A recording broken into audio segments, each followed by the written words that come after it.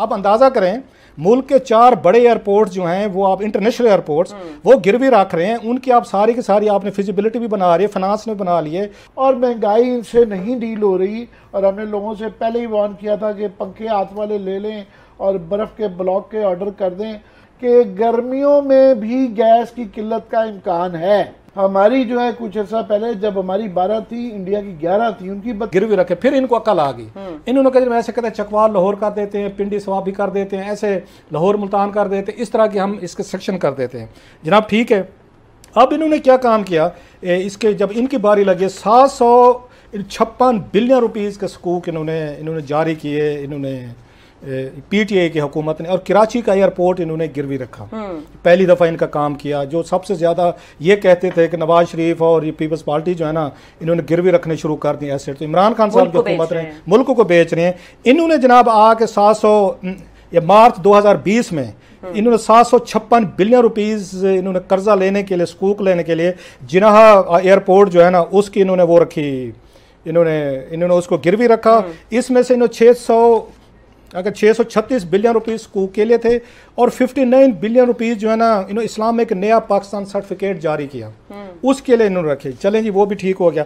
अब जब कराची एयरपोर्ट भी हो गया सारे कुछ हो गए तो 20 जनवरी को अभी इन्होंने फिर आपको याद होगा हमने उस वक्त स्टोरी की थी इस्लामाबाद क्लब को रख लो ये फिर आई थी स्टोरी के एफ़ नाइन पार्क जो है जो उसकी उसकी स्टोरी थी सोहेल भट्टी साहब की स्टोरी थी हम्म। कि एफ़ नाइन पार्क जो है उसको रख दो। पार्क इससे पहले मुझे याद है हमने स्टोरी की थी नाइन्टी टू में की थी कि पीटीवी और इसको गिरवी रख रहे थे यहाँ पे आपको याद होगा इसाक डार साहब के दौर की रेडियो पाकिस्तान वो रेडियो पाकिस्तान पीटीवी को गिरवी रख रहे हमने स्टोरी की वो बचा सोहेल भट्टी ने स्टोरी की एफ़ नाइन पार्क बचा। उसके बाद कहा इस्लामाबाद क्लब को रख देते हैं कोई दो चार वहाँ पे कोई हम्म। उस मीटिंग में बैठे हुए तो उन्होंने कहा वो रख लेते हैं। उन्होंने कहा नहीं नहीं इस पर तो रोला पड़ जाएगा। अब कोई नए आप वो ढूंढो।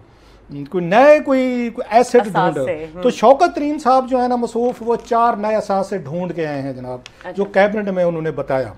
उन्होंने जनाब कहा कि अब की दफ़ा मुझे शाबशी दें कि मैंने बाकी मोटरवे भी रख दिए गए हैं एयरपोर्ट भी रख दिए गए हैं कख नहीं बच गया। हम्म। उन्होंने कहा जनाब हम ऐसे करते मुल्तान एयरपोर्ट अभी बचा पड़ा है। उन्होंने कहा, लाहौर एयरपोर्ट का कोई पोर्शन जो है ना, वो बचा पड़ा है। इस्लामाबाद एयरपोर्ट अभी नया नया बने उन्होंने कहा, खुदा का खौफ कर, अभी तो हम बड़े कर्जे ले सकते हैं, वैसे कौम यहाँ परेशान बैठी है, हैरान बैठी है। इन्होंने एन एच ए को भेजा, बड़ा एक ज़बरदस्त काम किया, मुराद सईद ने किया वैसे पहली दफ़ा किया। बड़ी इंटरेस्टिंग स्टोरी आमिर साहब, इसकी कैबिनेट की जो है। इन्होंने उनको कहा कि हम मोटरवे के फलां फलां सेक्शन जो है ना, वो रखना चाहते हैं। हम गिरवी रख के कर्जे लेने चाहते हैं। जो कहते थे, हम ये भीख नहीं मांगेंगे, खुदकशी कर लेंगे। उनकी कहानी सुना रहा हूँ। उन्होंने जनाब मुराद सईद को भेजी, उन्होंने उनकी वजारत को कि हम फलां फलां सेक्शन कहते हैं। उन्होंने कहा आप जो बिलियन रुपीज़ के कर्जे लेते हैं, उनको भी तो पैसे दे, आप उनको देते हैं ना, उनको उनको रेंट देते हैं या मार्कअप देते हैं। अगर आप हमारे मोटरवे के, अगर हमारे सेक्शन या जंक्शन रखेंगे गिरवी इसका हम भी किराया लेंगे आपसे इसको इस्तेमाल करने का। ज़रा डेलिकेट पॉइंट देखें।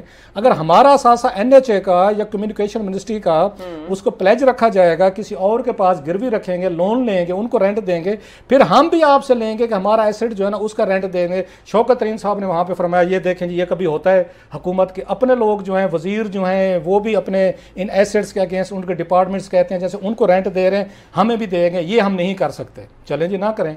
इस पे उन्होंने कहा मुझे अप्रूवल चाहिए जो मैंने अगला साल चलाना है, जो मैंने आपको बताया कि उन्होंने उन्होंने बताया कि वहाँ पे हमने कर्जा लेना है वन पॉइंट आपको टू ट्रिलियन पाकिस्तानी और थ्री पॉइंट फाइव बिलियन अगला। जब उन्होंने ये पेश किए तो इस पर गुलाम सरवर खान साहब अब कहानी की तरफ़ आ रहे हैं। जल्दी से मैं इसको संभव करूँ मैं। इंटरेस्टिंग काम हो रहे हैं ना इस मुल्क में। पहली दफ़ा हो रहे हैं बहुत सारी। गुलाम सरवर खान साहब ने हाथ खड़ा किया। जब ये सारी बड़ी ब्रीफिंग रोज़ी किस्म की शौकत तरीन साहब, जिनसे अपना बैंक अपना बैंक नहीं चल सका तो पाकिस्तान इकानमी चलाने आए हैं। ऐसे चलाएँगे ना, जैसे मैं बता रहा हूँ। उन्होंने जनाब उस पर फरमाया, उन्होंने हाथ खड़ा किया गुलाम सरवर खान ने। उन्होंने फरमाया, जी इमरान खान साहब ने कहा उन्होंने कहा जनाब ये जो सारा कुछ आपने ये धंधा इकट्ठा किया है सब कुछ फलां एयरपोर्ट वो एयरपोर्ट ये एयरपोर्ट उसने कहा हमारी वजारत है सिविल एविएशन हमारी वजारत है।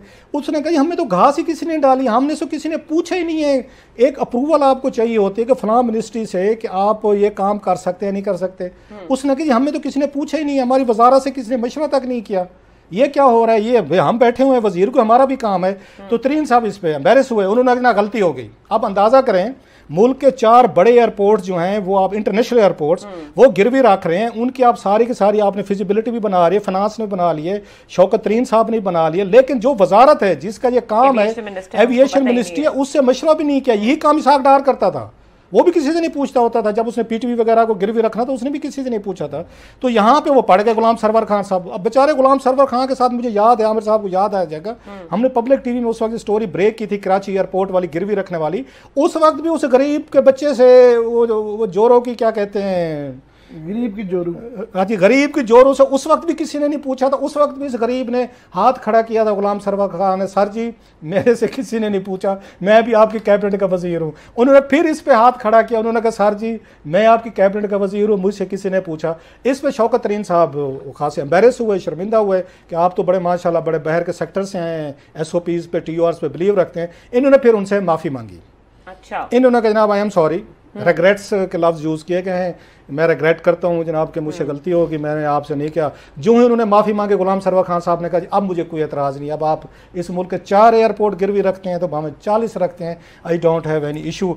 Aamir साहब ये स्टोरी थी इसकी गिरवी रखने की आपके एयरपोर्ट्स की कि कितना कितना कर्जा इन्होंने अगले साल में लेना है और उसके अगेंस्ट क्या क्या सासे गिरवी रखनी है। जी आमिर साहब।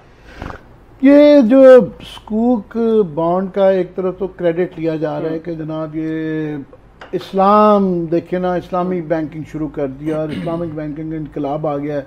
तो वो लोग जिनको सूद से मसाइल देता है क्रास सही कह रहे हैं कहानी दस नहीं पकड़ा ही पकड़ा।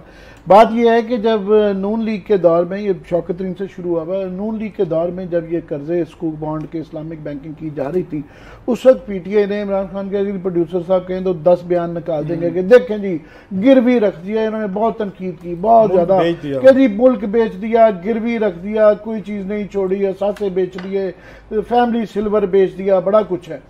अब अपनी दफ़ा अब क्या है टीम तो वही है वही हाँ। वकार मसूद वही पुराने लोग जो है ब्यूरो ब्यूरोक्रेट भी वही बैठे हुए हैं तो वही पुराना फार्मूला तो अपनी दफ़ा जो है अपना एक्सप्लेनेशन देनी शुरू हो गए हैं हाँ। कि जी ये है ये जो देखे ना ये तो गिरवी रखने का मतलब नहीं है सचमुच के गिरवी हाँ। रख दिया। ये तो ऐसी एक सिम्बॉलिक सी चीज़ है इससे कोई ये नहीं है कि वो ये गिरवी रखी चीज़ें दिवालिया हो जाएगा और ये ले जाएँगे। ये कोई नहीं ये ऐसी एक कार्रवाई है अपनी हाँ। दफ़ा ये जब उन पर तनकीद कर रहे थे उस वक्त ये एक्सप्लेनेशन नहीं आई थी। हम्म, उस वक्त भी कहते कि वी अंडरस्टैंड कि ये कोई इतनी नहीं कार्रवाई है ये तो मुल्क दिवारिया थोड़ी होने जा रहा है ये जो जरादे हैं इसका कोई जो गिरवी रखवाना कोई इंपॉर्टेंट नहीं है हम्म। अब एकदम एक्सप्लेनेशन आ गई है बात यह है कि तरीन साहब एक बहुत बड़ा शौकत तरीन है गैम्बल कर रहे हैं ये बजट के अंदर। हम्म। अच्छी बात है ग्रोथ आ रही है और ये फार्मूला समझ आता है कि ग्रोथ करो जब ज़्यादा पैसा बनेगा तो ऑटोमेटिकली ज़्यादा मसाइल वो होंगे। ग्रोथ की तरफ़ जाएँ बजाय इसके कि सुकेड़ना शुरू करेंगे ये ये है। गैम्बल क्या है? कि बहुत एम्बिशियस है। For example fifty eight hundred billion जो है ना कि इन्होंने रेवेन्यू इकट्ठा करना है। अब वो बड़े बड़े वो सारे सर पकड़ के बैठे हैं, काफ़ी सारी चीज़ें वापसी भी ले ली हैं कि जो डेफिसिट बता रहे हैं, जो कमी रह जाएगी, वो बहुत ज़्यादा रह जाएगी।